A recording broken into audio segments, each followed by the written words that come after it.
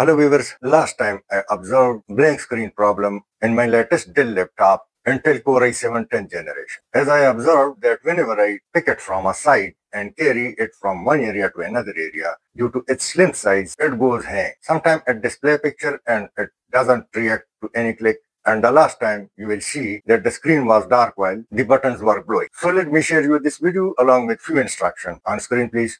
Now the slim model of Intel Core i7 10th generation is in front of you and let me instruct you never keep it in your lap or keep it on a surface ventilated and there should be no air blockage.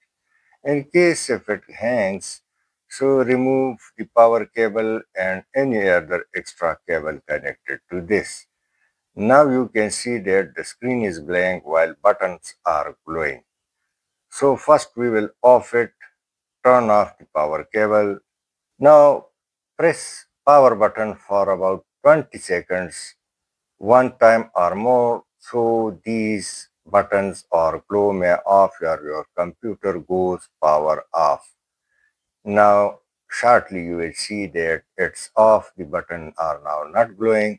Now we will turn it on, so press the power button for a little longer and when the button glows, tap 3 to 6 times on escape key or tap it, I'll press control key and escape key as well as hit the above area of the escape key to on the system. Remember never pick or carry your laptop while holding it from a side. Due to its slimness, due to its slim size, it always goes hang as something touches inside the body, which cause hang. And now in front of you, it's on. The solution is very easy, but to avoid it, keep it on a flat surface and if you carry it, keep it on a clipboard or something like this. I hope you would have liked. Thanks for watching. Please share and subscribe.